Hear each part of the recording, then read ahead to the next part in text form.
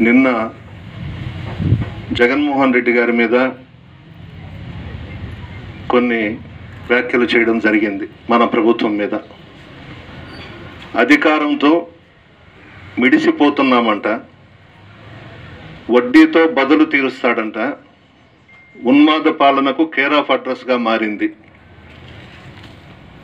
అధికారంలోకి వచ్చిన తర్వాత జగన్మోహన్ రెడ్డి గారు ప్రమాణ స్వీకారం చేసిన డయాస్ మీద నుంచే పార్టీలకు అతీతంగా వర్గాలకు అతీతంగా కులాలకు అతీతంగా మతాలకు అతీతంగా సంక్షేమ కార్యక్రమాలు పెద్ద ఎత్తున చేపట్టడం జరిగింది ఈ రెండు సంవత్సరాలలో.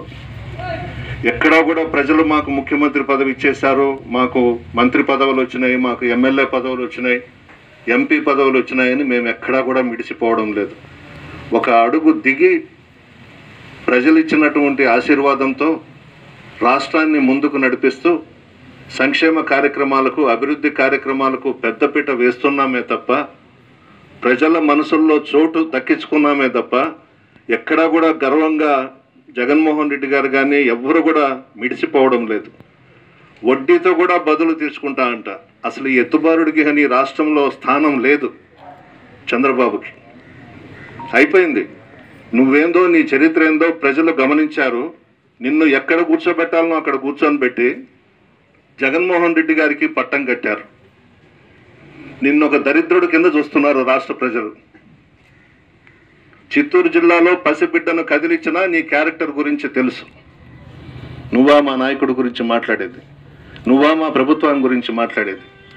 ఉన్మాద పాలన అంట. నువ్వే ఒక ఉన్మాదివి. నువ్వే ఒక శాడిస్ట్వి.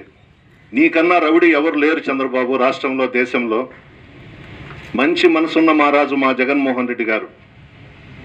కాబట్టే రాష్ట్ర ప్రజలందరూ కూడా బ్రహ్మరథం బట్టి నూట యాభై ఒక్క స్థానాల్లో శాసనసభ్యులను ఇరవై రెండు పార్లమెంటు స్థానాలను గెలిపించి జగన్మోహన్ రెడ్డి గారికి ముఖ్యమంత్రిగా పట్టం కట్టారు.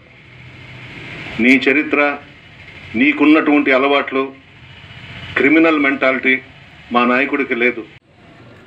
ఏం మాట్లాడుతున్నాడో ఆ పిల్లోడికే తెలియదు జగన్మోహన్ రెడ్డి దద్దం అంట శాడిస్ట్ అంట. అతను కూడా నిన్న మాట్లాడినాడు. అర్థం కావట్లేదు.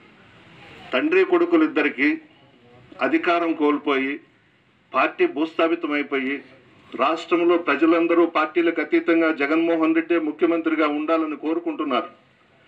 ఇవన్నీ తెలుసుకొని మతి భ్రమించేసి ఇద్దరికి తండ్రి కొడుకులకి ఏదంటే అది మాట్లాడుతున్నారు. దద్దమ్మన మా ముఖ్యమంత్రి. జగన్మోహన్ రెడ్డి గారు దద్దమ్మను నీకన్నా దద్దమ్మ ఎవరున్నారు లోకేష్?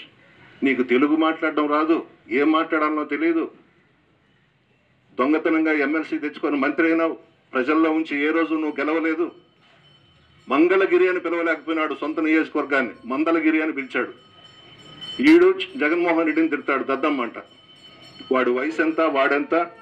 మా నాయకుడి గురించి మాట్లాడతాడా? అదుపులో పెట్టుకోండి నోరు అదుపులో పెట్టుకోండి.